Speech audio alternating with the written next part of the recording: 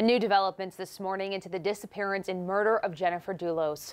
We're now hearing about the Department of Homeland Security's involvement in the case.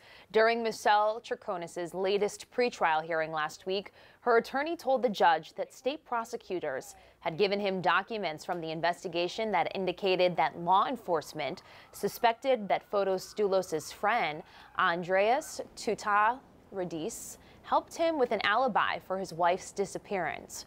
Court documents detail that federal investigators wanted to search his cell phone. That cell phone was seized by agents at Newark Airport in New Jersey a month after the disappearance, when he flew from Greece to stay with Fotis at his Farmington home.